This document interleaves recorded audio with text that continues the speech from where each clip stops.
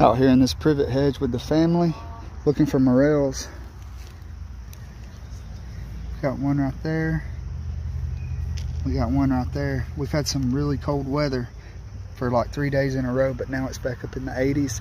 So we're going through and we're picking all the ones that are that looked a bit that look to be st stunted by the cold weather. And uh, we got a little haul going so far.